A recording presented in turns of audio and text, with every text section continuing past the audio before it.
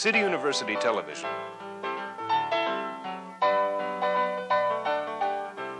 In association with the Center for Advanced Study in Theater Arts.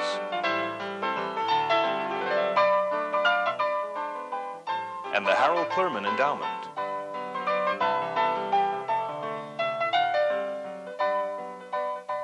Presents Spotlight.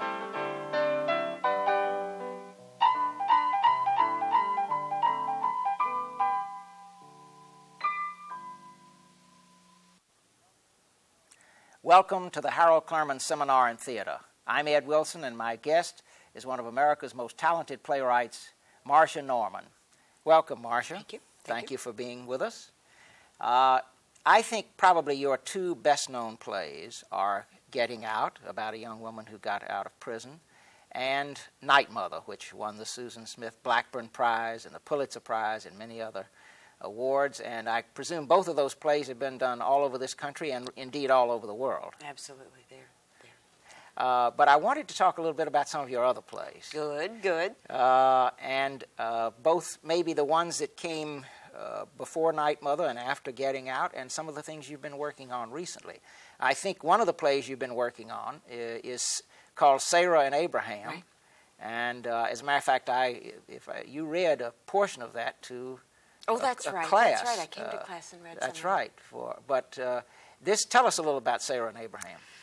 Sarah and Abraham is um, about um, the feisty little theater troupe like Steppenwolf or one of those uh, in a midwestern city that we don't know about uh, in the middle of a blizzard. Uh, this is a, a you know small resident company of uh, fanatics, really, uh, people who Fanatical about the theater. about the theater and they and the way they work. They improvise their way to their plays, um, and so this time uh, they've chosen the, the, the subject Sarah and Abraham, the Bible story.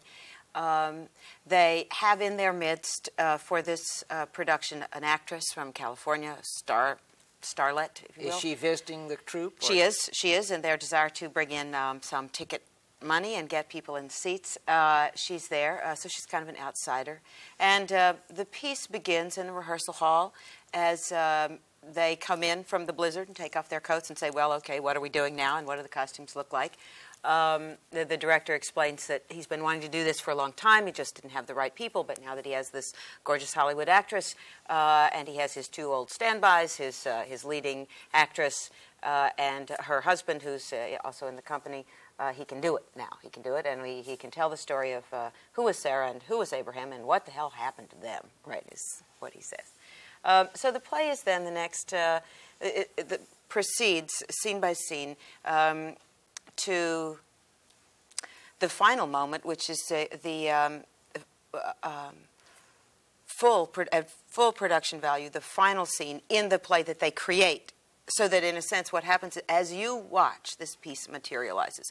The costumes come out of the trunks. The you know this bare rehearsal s- space, this shabby-looking, awful thing, turns into this Bronze Age So the- desert kingdom. Uh, the the play begins in the actors' mouths as they're sort of goofing off and trying to figure out what Sarah would have to say to Abraham. Um, and uh, hear they hear parts of the story. G- gradually, the the playwright, who is also a character in the piece, supplies begins to supply the language, and you watch the play evolve. Now, what happens really is that you watch the marriage of this theatrical couple disintegrate, and uh, and you watch the um, the woman, um, in a sense, has to, steps down from her role as leading actress of this company and uh, enters private life forever, and the man goes on to become, you know, the great and celebrated star that Abraham, of course, became. So there's a parallel between yes. the Sarah and Yes. Abraham story and between what Right. happens in But real life yeah. to these actors. There must be a lot about uh, the creation of a theatrical piece It in is. this. There is. though. I mean, somebody said to me, somebody, you know, they did a reading of it uh, a while ago, and a person from a newspaper said to me, "Well, wait a minute. You said that you always wrote about people who." Didn't have a voice of their own, couldn't speak for themselves, and so, and then, so isn't this? A, I mean, aren't you really just, uh, you know, leaving behind your tradition? And I said, well, who has less of a voice than the actors in the plays that I write? I mean, this is my giving them a chance to say, this is us back here. We're people back here. Our lives are falling apart. Our hearts are breaking, and yet we are, we, we are presenting to you these noble characters who somehow had another idea about how to live. Um, so it's really both about the process of uh, creating a theater piece, the lives of actors and actresses and directors. Right.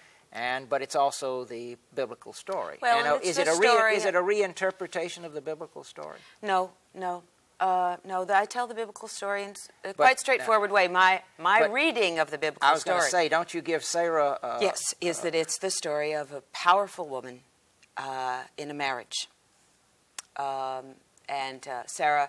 You know, I mean, then the Bible's the Bible scholars again. You know, I do so much research, and this. Uh, You did a great deal of yeah. biblical research for yeah, this. uh, there there are wonderful new uh, there's wonderful new work about the Bible. Uh, I mean, one of the simple facts that, that's You- you- established you now is that that- Sarah was a Mesopotamian priestess. You know that she was uh, in charge. She was, you know, she did the rituals. She made it rain. She made the crops grow. She did that, and that uh, that this that she lived during a time when, in fact, things changed and people stopped worshiping the moon, started worshiping the sun, started worshiping commerce, not farming. Do you know? I mean, then that that was a real time when men, because of their, who knows, talents, their own power came into uh, control. And in so other words, the control uh, shifted from the woman to the man Yes. historically Yes. at this. Yes, At this I mean. I, I really believe that what happened at some point back there was that the the uh, the mysteries were given over for the for the for the certainties. You know, the mysteries of Yeah. rain to the certainties of trade. Now, you this brings us to a subject, uh, which is namely the whole notion of women's theater and women in the theater, Mm. because you are now such a, uh, to use a popular term, role model, I Mm. think, and you're so involved because you have become so well known. Uh, the question of uh, female aesthetics and uh, the whole question of the role of women in the theater and the fact that there aren't that many women playwrights whose work is being done, there aren't that many women directors. What are some of your feelings about that? And have they changed over the years, your feelings about your responsibility as a woman writer? Well, I I never I, I didn't ever write anything because I felt I had to because I wanted to make a point of any kind. a political point. Right, right. Um, I only was writing stories that I knew and uh, moments of courage uh, that I was in awe of. And uh, women live courageous lives. Uh, and that, that courage, I mean, what? You, you have to look back at, well, you say, okay, it's Medea and Hedda Gabler. I mean, is that, are those the two courageous moments in the women's uh, theatrical history in the past? No, I mean, that's not enough. Um, and uh, I am, I am, um, I I'm greatly troubled by the fact that there are not more uh, young women coming up to write for the theater. Um, Do you think they're not being given a chance? Or do you think they're. What, what do you think is the reason for that? Well, I- well, I don't know. I, I think that there are a couple of possible explanations. One is it's very it's a very demanding uh, life in terms of time, uh, in terms of um, mobility. I mean, you have to be able to move around. Uh, if you have um, children and home to take care of, that's something that you might very well choose to do, other than go and see a production in some place that far away. Do you know? I mean, it's yes. those are very real choices, and women choose um, those uh, those. Um, w- women make their choices in a different way, I think, than men do. I mean, it's very easy for women and very right, you know, and uh, powerful for women to say, "I need to be with this child. I need to be in this house, and this is what I'm going to do now." So that, in a sense, there's a great portion of women who w- would be telling stories, who are doing something that they uh, and we all would say is as important. The putting aside the question of uh, female aesthetics, Right. Uh, it, I think I do hear you saying there's a different sensibility and a different experience of the world Right. that a Absolutely. woman has. Absolutely. And you did say uh, in a, I'm just going to quote now a couple of things you said in, a, in an interview once. You uh, on this subject. The things we as women know best have not been perceived to be of critical value to society. The mother daughter relationship is a perfect example of that. It is one of the world's great mysteries. It has confused and confounded men and women for centuries and centuries, and yet it has not been perceived to have cr- critical impact on either the life of the family or the survival of the family. I mean, do you? Uh, oh, absolutely. And then you said one other thing here I wanted to quote. As women, our historical role has been to clean up the mess. Whether it's the mess left by war or death or children or sickness, I think the violence you see in plays by women is a direct reflection of that historical role. We are not afraid to look under the bed or to wash the sheets. We know that life is messy. Uh, and you feel that this is something that men do not fully, fully understand and appreciate uh, for the most part?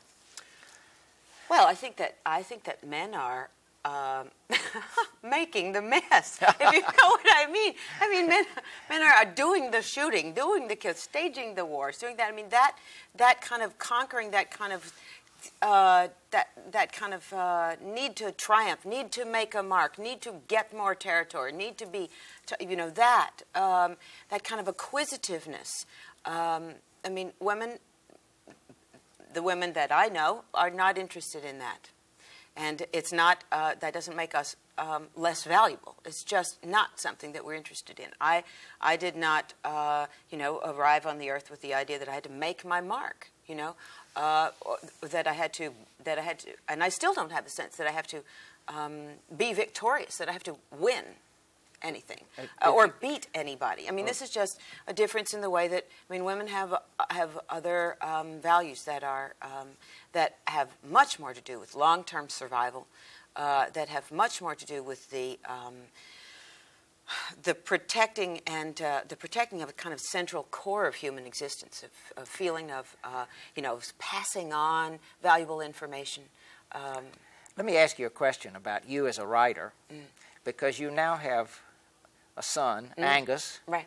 Uh, you're a mother at right. this point. You right. wrote a lot about the mother-daughter relationship in the past, in right. both Getting Out and in Night Mother and elsewhere. But now you have this son has that changed your attitude toward? Uh, uh, has it changed? Well, first of all, has it been a problem in terms of your writing, in terms of time and attention? Well, I've had to get a lot better. I've had to. I've had to. Get you know, you know. I really. I. It used to be in my life that I didn't want to do anything but work. And that's not true anymore. I really love to be with this little boy. I really love to watch him learning the language, sort of as he sees it, sort of devising it, you know. I mean, he, uh, I, I find that more interesting than anything I know. Uh, and I, I. So that writing is not now the. It doesn't occupy the position of priority that it did once in your life, quite so. Well, now I have a choice.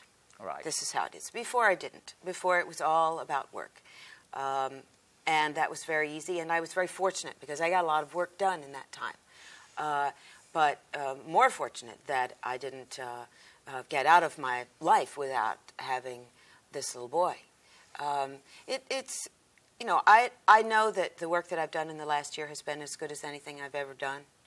Um, I, um, like I said, it's just the choices just are harder now. but you know what I find is that more and more of us are working with uh, women who also have children, you know, so that in fact we all make our decisions based on what's easy for us and good for us. And you know, when when we um, have work experiences, it's easy to, you know, I mean, we we're looking out for that. How can we do our work and be with our children? Because we, you know, we will not say that our work is more important than our children.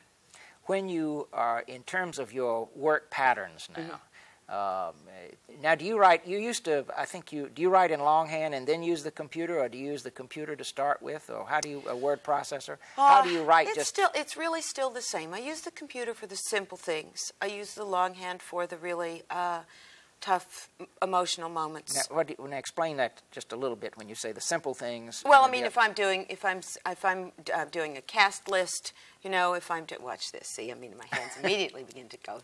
Uh, you know, if I if I want to do a sketch of a scene, if I want to make um, you know th- that kind of work. But when I come to something that's a very difficult thing to say, when I'm looking for exactly the right. Um, well, I'll give you an example from Sarah and Abraham. There's a moment when the actor says to her, uh, is when Abraham says to Sarah, only they're talking as Cliff and Kitty, he says, You know, I, I have to come by the house sometime and get some things. And she says, Not the cat. And he says, 10 years together and all you want is the cat. And she says, what she says next is one of those things you can only write in longhand, right? I mean, because you think about it for days, you can't just. And what she says is, uh, "It's not all I want, but the rest of it won't sit in my lap." Right. Right. Now, th- there, I mean, th- that's not. There's no way that would no, have come out on the no, word processor. No, never, Yes. never. Does this sort of tactile notion Yes. of writing Right, there right. mean something to Right. you at a moment like, or in a situation like that? It also, uh, you know, I, I think that people can comprehend at about the same speed that the human hand can write. And I, I mean, I think that on a computer, you, uh, when I first got my computer years and years and years ago, I, I was, uh, I fell right into the trap of writing great, long, complicated, fancy sentences that the computer appreciated, and that were just, you know, left everybody else cold. Particularly on stage. Mm-hmm. Now, when you're in your typical writing day, uh, dealing with Angus on your son on the one hand and your writing uh, projects on the other, do you have a sort of do you divide it up or do you is, is Well, it's it, it's it's actually uh, easy. You know, I get up in the morning, and uh, you know we have that sort of morning family time, and then at nine o'clock or whatever, I go out to my little writing house, and uh, Angus is in the care of a wonderful uh, girl, and uh, they play in the mornings, and I work in the morning, and then he has his nap, and then uh, you know about 1.30, when I'm really finished for the day anyway. I can't do anything for. I mean, I, I'm lucky if I can write. well, I think most three and a half or writers, in hours. from a creative standpoint, Right. cannot write but a certain period. And you write in the mornings right, then. Right. And then, so then the afternoon is free for, you know, various things reading, adventure, the beach, you know. whatever it That, happens to be. yeah. But you have a separate place where you write Yes. that's away from the house Yeah. uh, and Yes. that you've set up for for yourself. yes, it's Is the that proverbial room of my own. That- yeah, and that's important to critical. you? Well, I also it isn't just for the writing. I need a certain amount of solitude in a day, and four hours is a, is about the minimum that I have to have. And it doesn't it isn't that I'm. It's a it's I don't I can't really say what it's about that time, but I know it's absolutely critical. It's as critical as eating, as critical as sleeping, is for there to be for there to be no noise for that time, for there to be nobody around. Um, that's what I, it's part of the it's part of what's required. Uh, it's always been that way. I mean, now I've gotten to where I can kind of get along on four hours of solitude in a day. you know, I, mean, I used to have lots more. Right. Uh, but this is a way that I can also have some some company in my life. I don't have to just have the solitude. and have and have a balance Yeah. between the two. Yeah. The uh, there's another play you've been working on, which I think is a musical, Yes. Secret Garden. What uh, just uh, describe briefly what that's about? The Secret Garden is a is a book by a woman, a novel by a woman named Frances Hodgson Burnett, who also wrote uh, The Lord Fauntleroy and the Little Princess. Um, this is a it's a great favorite among uh, people the world over. This book, and um, I wanted to work on a musical project. I wanted to work with uh, my friend Heidi Landesman, who's done a number of musicals, and uh, Heidi had this. Uh, project in mind, and we got together and started working on it, and it's been thrilling. I'm doing the book and the lyrics. Uh, talk about craft. I mean, a musical book is just this nightmare of craft. I feel, you know, it's so intricate and so demanding.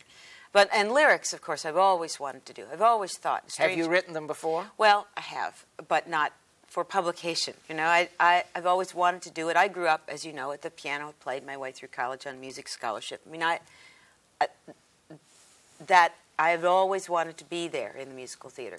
I feel like I, I took a kind of odd way in, you know, um, came up the back stairs. but um, But this has been going through workshop process. Right. you- we, we worked on it for, uh, oh, I suppose a year and a half, and then had uh, a workshop.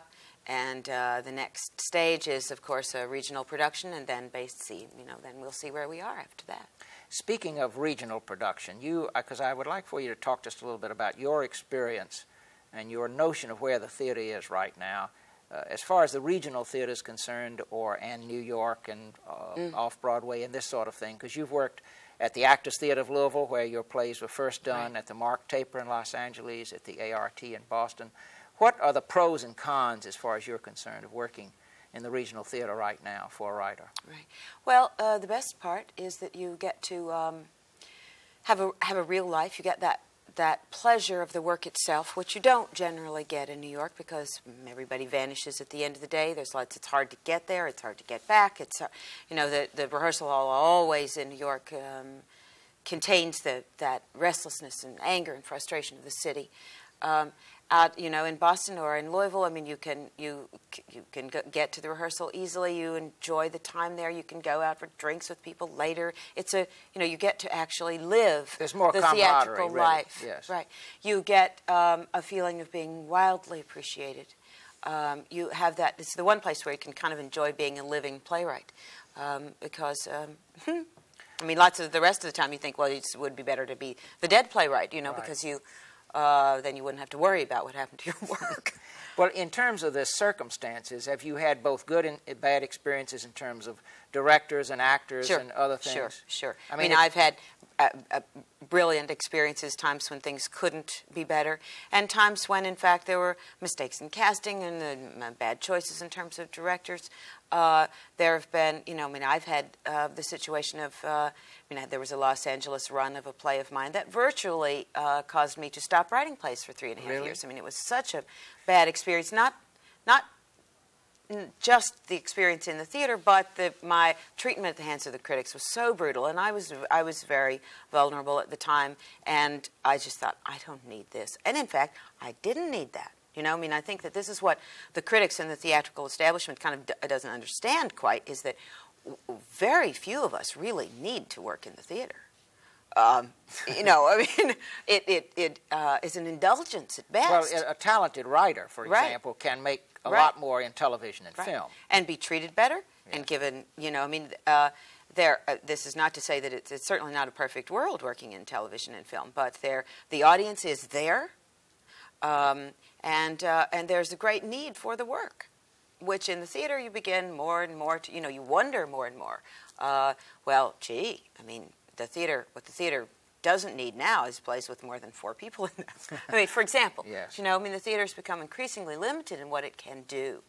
Um, simply, I mean, the New York theater, at any rate, and I but think regional theater is not quite so constricted. it's not quite so constricted, but I think it's going to get. Um, I, I mean, the, I, I- regional theater at this moment is in a kind of compression period. There was the, there was the moment of its birth, it was sort of like supernova, right? And then there was suddenly this explosion, and there were all these theaters and all this money for writers, and all these new plays being done, and all these festivals, and, all, and everything. Uh, and then suddenly uh, there was a, the, you know, it, the, the, the, star sort of reached its um, critical mass and began to shrink again. And I think the individual theaters are now, Actors Theater is a perfect example. John um, is now. John Jory, John the Jory artistic director, yes.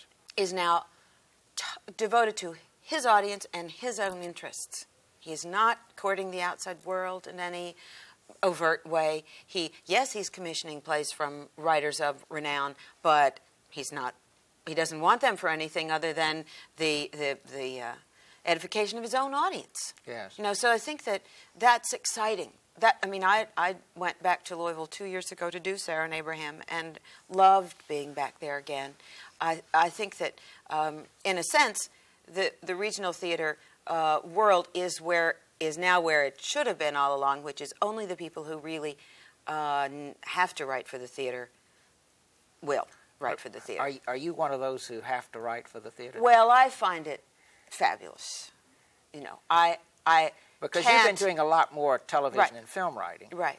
Well, but the theater is. I mean, I think with the, with uh, the opportunities now to write for TV and and film, uh, people who like the theater, who kind of have it as their indulgence and their hobby, uh, can say, well, okay, what can the theater do that nobody else can do?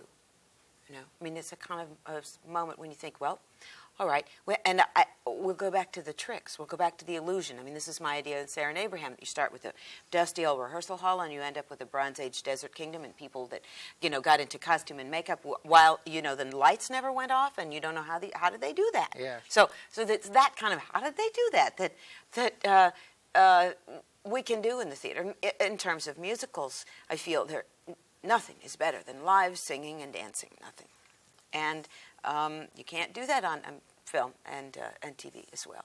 So that, um, like I said, the people who belong in the theater, um, who are you know, just certified to addicts. Uh, But they obviously they obviously see certain, despite the problems of financial problems and the other problems that you mentioned, uh, they continue to write because of that electricity and that excitement and the chemistry that happens. Also, the fact of the audience. How do you, don't you, I mean, it must mean something to you to be in the theater when the audience is experiencing one of your plays that you don't get, obviously, with film and television. Right, exactly, exactly. I did a novel. I loved the writing of it. It was a moment when I was once again angry at the theater, so I went, I went uh, and off and wrote this piece that, you know, where I didn't have to deal with anybody. It was but called me. The Fortune Teller, right, wasn't it? Right, and I liked that, but, but it, there was never an opening night. no, you could never go out and drink with any of the people in it. Right, you were just there with your book. Uh, so I think that uh, I, the theater is is a way that I provoke a lot of the conversations I want to have in my life. You know, uh, it's a way that I get into the rooms I want to be in, um, and so. But I will always need to have those conversations and be in those rooms, and so I will probably need to keep writing. Fortunately, you can work in both worlds. That is, in the world of film and television, where you are in demand, and in the theater, which you can come back to. Actually, I suppose working in film and television has made it possible for you in recent years to continue to work in the theater. Absolutely. I mean, absolutely. from a financial standpoint, right, is that right? Right. Is I that mean, true? Uh, and this is not just true for me, but I think for most of us now, uh, in my generation of, of, people writing for the theater, I mean, we will do one or two um, pieces of television or film in a year, and that will take six months of our time, and then the rest of the time we will have you know. to work on theater yeah, so if we get a two for one day, you know, you, you get two days for the price of one, and you get the second day free to do whatever you like. Uh, and that's the deal that most of us make. And how And- we live, you know. I mean, we're adults. We don't want to, you know, we have families. We have thing. We have, we, yeah. We don't want to be under the pressure of of uh, of not having any money. right. I mean, we've all been there. On that note of the life that you've been able to work out, and that fortunately for theater goers, you're going to continue to live, I trust. We have to close now. Thank you so Thank much you. for being with Thank us. Marsha. This has been the Harold Clurman Seminar on Theater. I'm Ed Wilson, and our guest has been Marsha Norman. Thank you for being with us.